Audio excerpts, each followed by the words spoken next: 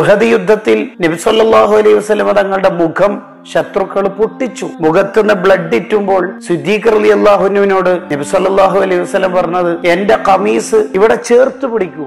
എന്റെ ബ്ലഡ് ആൾക്കാർ ചവിട്ടുന്ന ഭൂമിയിൽ നിലത്തി ഉറ്റി വീണാൽ ഒരുപക്ഷെ അള്ളാഹുവിന്റെ ദേഷ്യം ഈ ശത്രുക്കൾക്ക് ഇറങ്ങാൻ സാധ്യതയുണ്ട്. ഹബീബായ തങ്ങളുടെ ബ്ലഡ് നിലത്തുറ്റിയാൽ അള്ളാഹുവിന്റെ ശിക്ഷ ഇവർക്ക് ഇറങ്ങിയാലോ അതുകൊണ്ട് അത് വേണ്ട.